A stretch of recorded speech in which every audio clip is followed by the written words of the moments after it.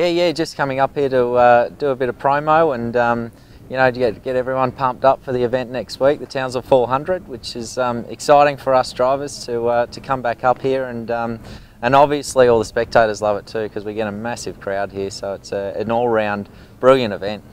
Um, yeah, walking through the shopping centre, uh, you can see that um, you know, people are looking out for V8 drivers. So a few people spotted me and um, asked for autographs and stuff, which is brilliant. You know, you can feel the, the vibe. Everything's starting to build, and um, everyone's getting excited about it. And um, you know, come next week, it's going to be a huge buzz.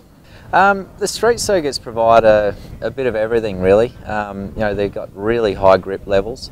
Um, there's concrete walls either side, so the uh, mentally it's it's very tough. It's draining um, because you can't afford to make a mistake on these circuits. You know, you make a mistake, you end up in the wall and um, you write your car off. The boys aren't happy back in the pits, so um, you know it's uh, it's tough, and also physically, um, you know it's hot here. It's uh, 27 degrees today, so um, probably be much the same next week, and it means that you know it's 20 degrees, 25 degrees hotter in the car. So you can imagine the temperatures in there when you're in there for a couple of hours. It gets pretty hard, and um, you know we're, we're working our heart rate at um, probably averaging 150, 160 in the car. So uh, it's very tough? Yeah, well, being a street circuit, Townsville 400, you know, people can come along. There's there's uh, an aspect from from every point of view. There's a great aspect about the circuit and, and the way the event goes about.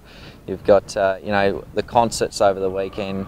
You've got skirmish. You've got uh, you know the cars cars uh, truck and and you know the little uh, Disney car. So um, there's a heap of stuff for the kids. Um, track's awesome for the drivers, and um, and there's so much to do for the, uh, all the spectators. They can watch the driving on the racetrack, all the races, all the all the um, support categories. Plus, they got all the entertainment. So, a great uh, all-round package.